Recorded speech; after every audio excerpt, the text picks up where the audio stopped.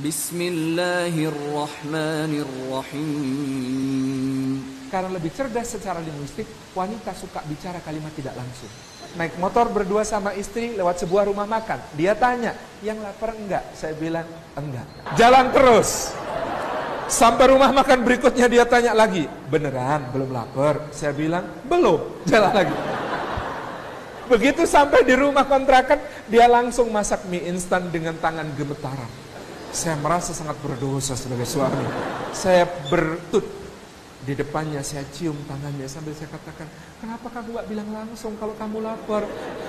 ومن آياته أن خلق لكم من أنفسكم أزواجا لتسكنوا إليها وجعل بينكم مودة ورحمة